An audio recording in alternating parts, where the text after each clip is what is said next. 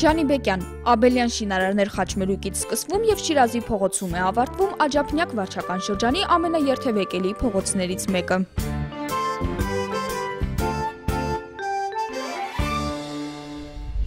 Ջանիբեկյան փողոցը։ Իսկ ասեք ով է Ջանիբեկյանը։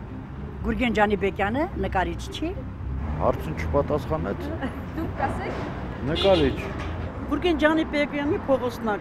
իսկ առաջ կոչվեր Անաստասավանի 27 փողոց։ Չէ, չգիտեմ։ Առաջ քարոքանդեր հիմա շասիլում իսպես տեսնում եք հայկները բանով մեր հայ զորավարներից չի, գրողներից։ Գուրգեն Ջանաբեկյանը մեր ճանաչված հարգարժան դերասաններից մեկն է։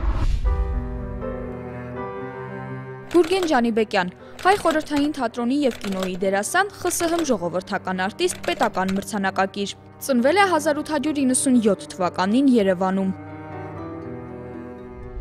Ջանիբեկյանի մուտքը թատրոն նշանավորվեց այն ժամանակաշրջանի հետ, երբ Հովանես Աբելյանը արդեն ստեղծել էր ազգային դերասանական դպրոցը։ Նրան շատ են համեմատել հենց Ժայռը ֆիլմի հետ, որը իդեպ նշեմ, որ նկարահանվել է հենց Գուրգեն Ջանիբեկյանի պատվին։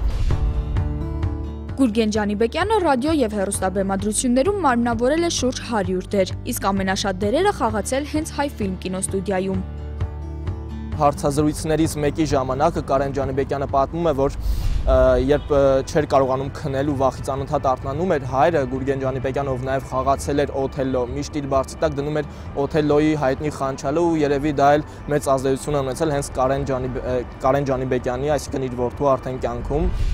Ջանիբեկյանը կատարել է նաև թարգմանություններ հրատարակել հուշեր։ Իսկ 1947-ից 1949 թվականներին դասավանդել նաև Երևանի Թատերական ինստիտուտում։